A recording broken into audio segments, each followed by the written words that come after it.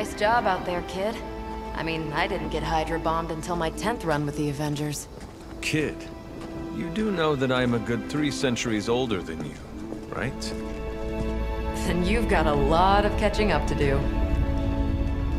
Okay, Abby tournament tonight. Sure about that? Last one got a little heated. The Eternal Spirits of Vengeance take technical fouls very seriously, especially in the fourth quarter. Forget it. Tonight is movie night. It is always movie night. Exactly. Wow, out of jail again? Who made this game? Wilson Fisk? Well, if parking is free, clearly no one from Manhattan. You know what they say? All work and no play is how we ended up with Ultron. Come on. You should hang out.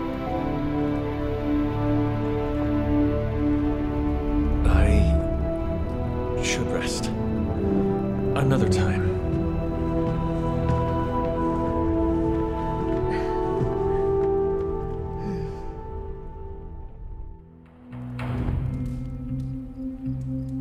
Let me see. How did this work again?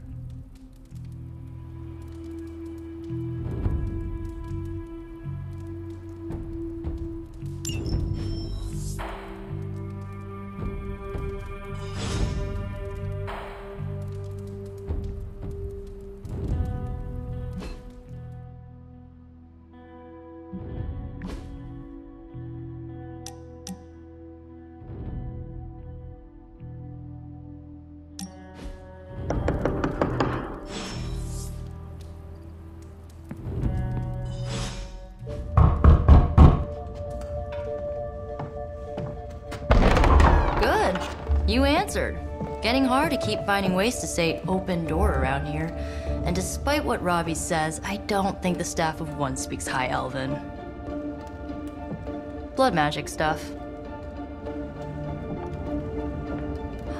Cool room. Spacious. Aw, is that bed for Charlie? Yes? So, if you're planning on giving me some sort of brooding code of the stoic warrior speech, I'm immune. Just ask later magic. From what I just saw out there, whatever crazy ancient living weapons stuff Caretaker put you through back in the day did a real number on you. We got a lot of work to do. Work? Yeah, talking to people, making friends, basic human stuff. Or quasi human. You're a midnight sun now. One of us. Nico, I was just Hydra bombed. I could use some rest. You and me both. Been bad dreams every night for me lately. I, uh, keep seeing Wanda. She. Never mind.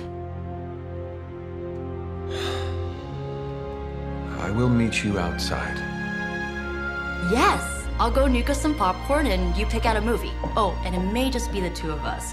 The others went outside, needed to cool off. Really need to hang a fan over that forge. Or maybe crack open the casket of ancient wonders a little?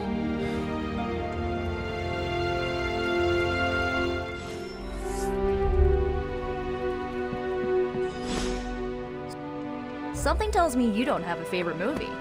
Well, we can start you out with one of my favorites.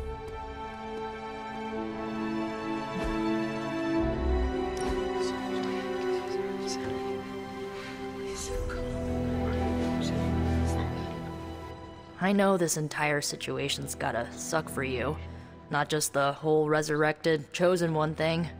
I get why facing Lilith won't be easy. I was 15 when I found out my mother was capital E evil. Was your father there for you when you found out? Uh, Dad was evil too. Long story, lots of drama. Um, there was a cool dinosaur. I'll fill you in later. Look, I'm glad my mother is gone, but yeah, at times I just want to hear her voice again. Some days I'd give anything to make that happen.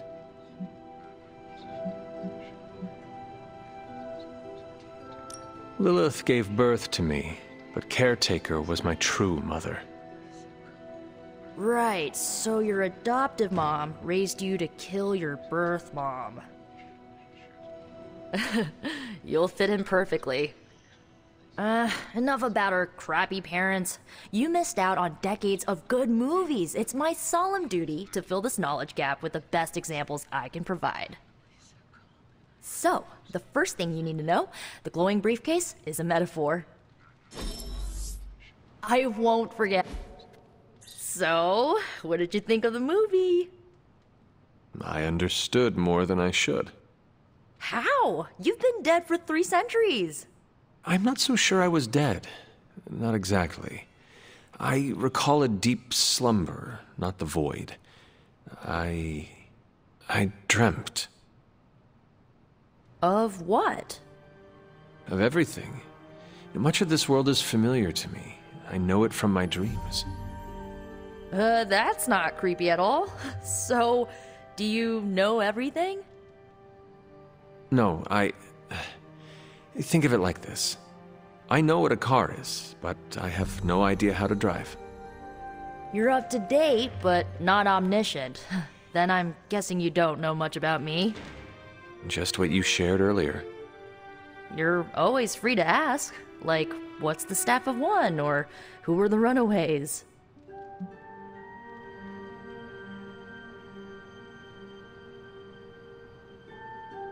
I had some questions about your staff. Uh, sure. Uh, but first, um, the basics. The Staff of One interprets words or phrases as spells, but it can only cast a spell once. No repeats. If each magical effect is unique, do you worry you will run out of words? Not really. I only use the staff's power when I truly need it. The rest of the time, I rely on more conventional means. Like, you know, magic. I should get going. Uh, good good timing. Um, looks like caretaker wants to speak with you and wow, I should get to bed. Time flies when you're hanging out. I'm glad to see you're using your free time productively. Looks like you're finding your way around. Maybe making some new friends. I was planning on getting some rest, but... Things are moving at a frantic pace. For all we know, I'll be landing a jet on the roof with Mr. Stark this afternoon. To stand still is to move back. You got that one from Agatha. She used to say it all the time. I always preferred if it ain't broke, don't fix it. Used to? I am sorry. I should have had this talk with you much sooner. But you should know... Agatha... She's no longer with us. What? Th that is impossible. She was so... Fierce. Indomitable. Or maybe just kind to a fault. The loss could not have been easy for you. Thank you for that. But it's not just my loss. It's all of ours. And what makes this loss even harder to accept is that it was completely avoidable.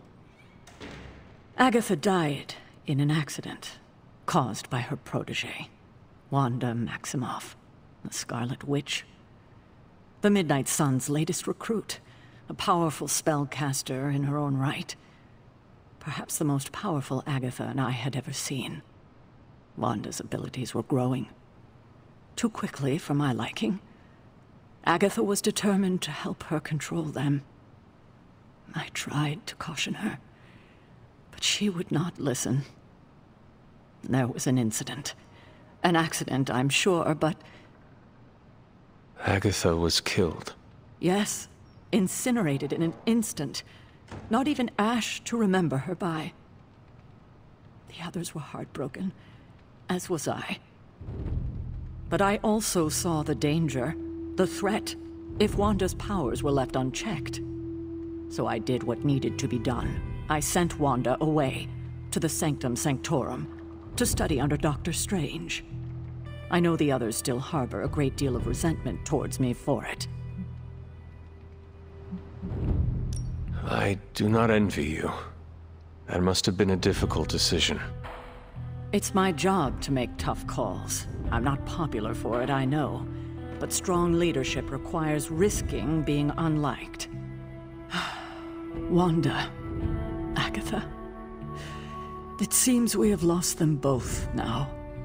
I conjured a small shrine to Agatha's memory on the grounds, hoping to find some solace, a way to move forward. You should pay your respects. Maybe you'll find what I couldn't. Good night, Hunter.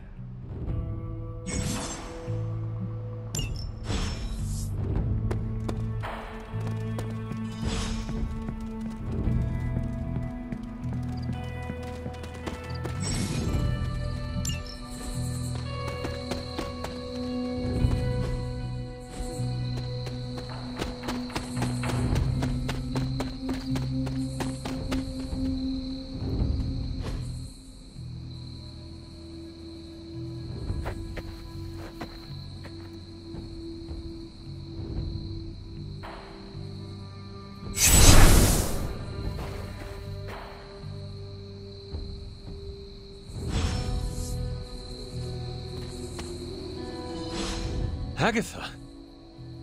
You always did have the most remarkable eyes, Hunter. Just like your mother's. Maybe that's why you're the first.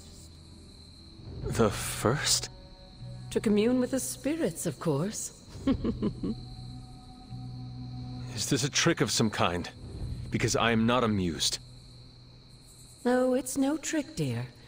You're just the first to see me. By now you've heard I had a bit of trouble with my corporeal body. I actually find it quite liberating. You are dead. Always straight to the heart of things. That's my hunter. You seem strangely at ease about this whole thing. After a thousand years of living, you learn to take things in stride. Even death. And what have you been doing all this time?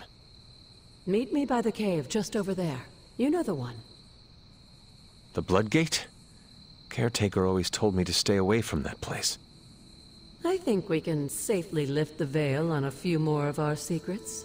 What's the worst that can happen?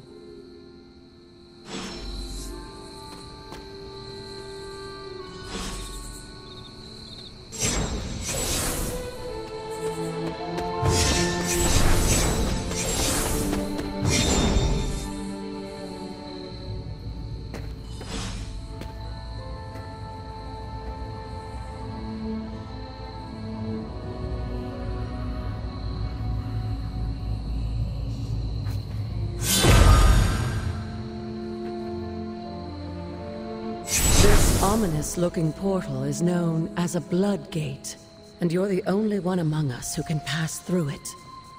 Bloodgate? Caretaker's handiwork? Yes, Sarah got a little overprotective after the accident with Wanda. It's become something of a habit for her. I have noticed that. What lies beyond is meant for you, as much as it ever was for her. Assuming you're up to the challenge, that is. You know I am. I do. But it's always polite to ask. That is something.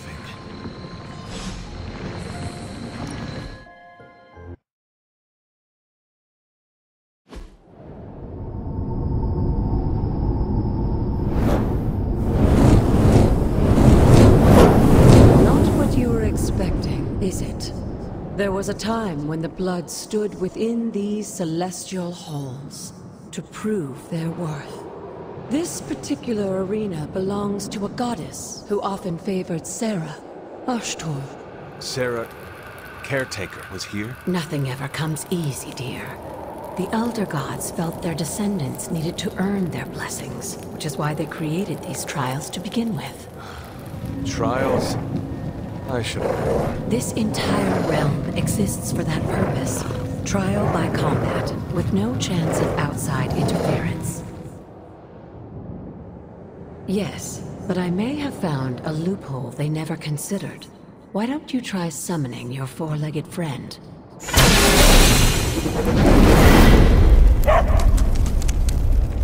Charlie?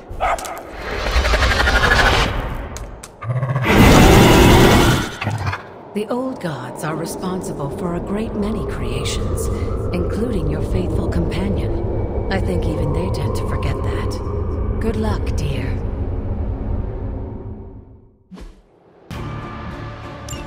As the goddess of balance and order, Ashtor was sometimes called the giver of justice. Or at least her idea of one.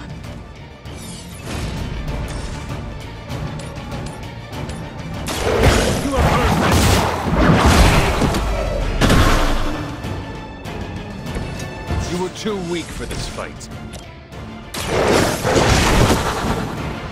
Leave some for the rest of us.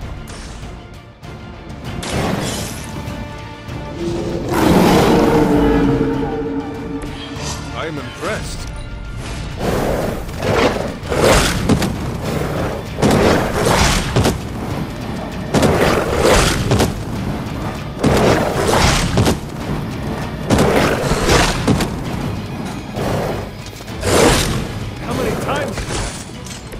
Compared to our girl, these hellhounds are nothing but mindless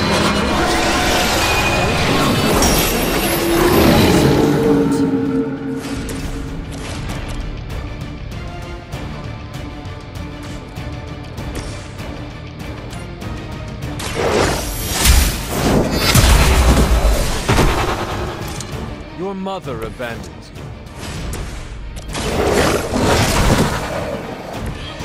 saw a move like that once, centuries ago.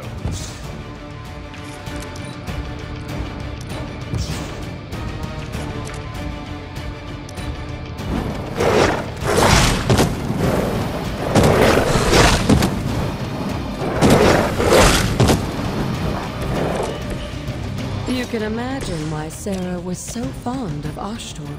If I didn't know her role as caretaker after the goddess herself.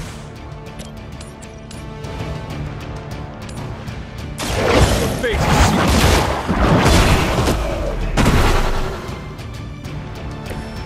Feel my call. Good girl, Charlie. Oh, and you too, Hunter. You finished this trial, but don't worry. The other gods are waiting.